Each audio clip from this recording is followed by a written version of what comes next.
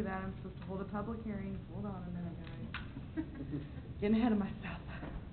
Okay, we'll now open the public hearing. If anyone li- would like to comment on this item, please come forward and state your name and address for the public record. It's getting late, so I Okay, I understand why. completely forgot. Sorry Once about again, that. Mark Hanna, uh, my office address is one thirty North Cherry in Olathe.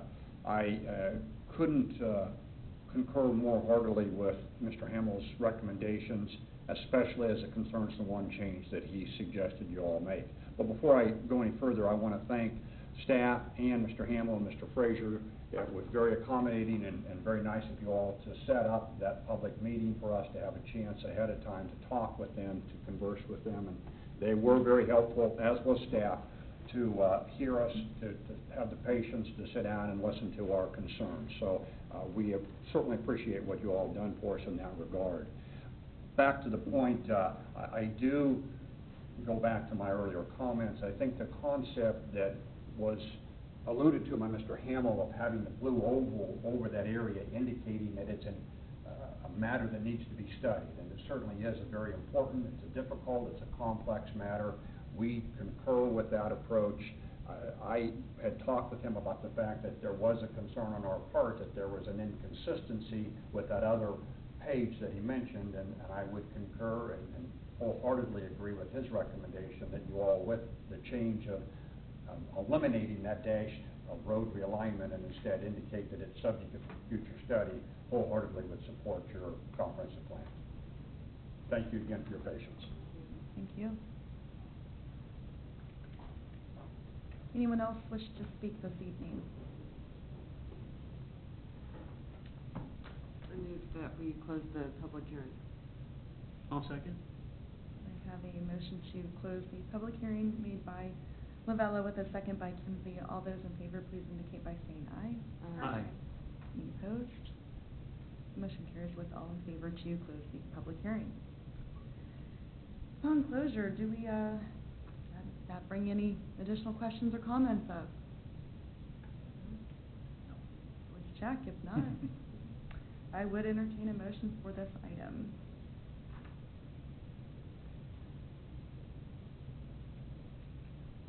Does the motion need to reflect these changes that were discussed by Mr. Hamel? Yes. So would the. Just trying to figure out how to word that Yeah. before I do a motion on it. Just revised changes, or? If you'd like, I can enu- just enumerate what those changes were, or whatever's easiest. Yes, please. Were, Sure. were you Yeah. planning on, uh, accommodating or incorporating all the changes that you mentioned? Certainly the first two, and I, I- I don't have a good note on the third point that he made, page ninety-six. That was just a traffic study. The tra, um, that was about the, uh, Page ninety-six was about the Johnson County, Oh, um, adult that's education. Adult education, gotcha, ninety-six. And, and I, i- in my opinion, it wouldn't, it wouldn't be a major substantive change or be committing them to anything, uh, i- i- unawaringly. It would, it would simply cite them as a potential resource that the city should reach out to and coordinate with. so cite, cite them as a potential resource. Okay.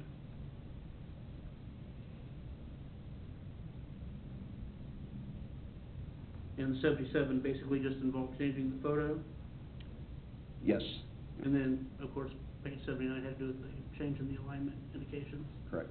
Or not indicating a specific alignment. for- or not indicating an alignment, okay. So I'd have to list those that way in a motion? I would say that, uh, list them that way in your motion. And again, previously it mentioned some of the changes that were, were made, you wanna mention those in the motion as well. So, um, if you need some help Yes. formulating the motion, um, let's see. Many of the changes are on the, that's posted on the website, correct? The changes already made by the city? I would, the way I would put it in the motion is that the, uh, the changes, the cosmetic changes and the change to the transportation plan map, I think it was page seventy-nine, as introduced by staff.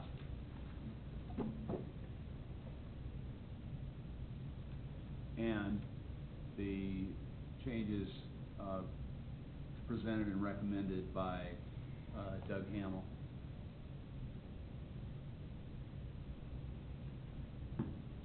So, um, let me think about this. So, I move to adopt resolution number PC fourteen oh two, adopting the City of Gardner comprehensive plan with the changes as introduced by staff at tonight's meeting, as well as the changes recommended by Doug Hamel, um, reflecting what occurred at the, at the open house, and forwarding that recommendation to the governing body to approve the Gardner Comprehensive Plan, replacing in its entirety the community development plan, existing comprehensive plan for the city of Gardner. Does that sound okay? Yeah, and you can just say so moved.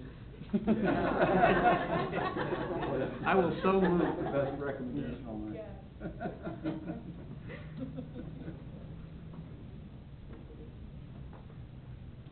So I will so move. Second.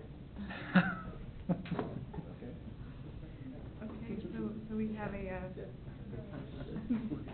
motion made by Kinsey with a second by Lavella to, uh, go with what staff recommended. I don't know if that's really politically correct, but I think we're just gonna go with that, if that's appropriate. Legally appropriate. All right, all those in favor, please indicate by saying aye. Aye. Any opposed? The motion carries with all those in favor this evening. Wow, it's late, guys, sorry about that. We do have one other business item, that being to elect chairman and vice chairman of the Gardner Planning Commission for the twenty fourteen through twenty sixteen term. Are you guys happy in your positions? Yeah, I mean, Yeah. I'm happy to let anybody else have a try or continue as. Is anyone as is. else feeling strongly that they want to assume one of the chairs? No. I nominate Adriana for chairman. A second. We have a nomination made by Lavella with a second by Barber for, um, For your chair, Adriana Heidi. Vader Yeah. to continue in her position as chairman. All those in favor, please indicate by saying aye. Aye. Aye. Any opposed? Motion carries. Now we're stuck with vice chairman. I also nominate Raymond Kinsey for vice chair. Second. Oh, wonderful. We have a uh, nomination made by Lavella with a second by Barber to um, uh, nominate Raymond Kinsey as vice chairman of the uh, Gardner Planning Commission for the uh, 2014 through 2015 term. All those in favor, please indicate by saying aye. Aye. Any opposed? Okay, so motion carries. Welcome back. Um, with that, we don't have any other business on the agenda this evening. Nothing else from staff? Can I, move that we adjourn. Second.